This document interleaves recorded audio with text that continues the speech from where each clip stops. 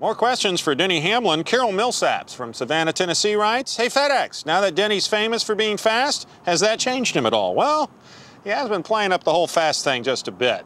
Four second six pack. Two minute rotisserie.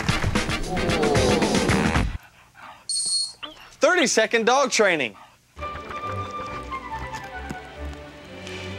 Sad.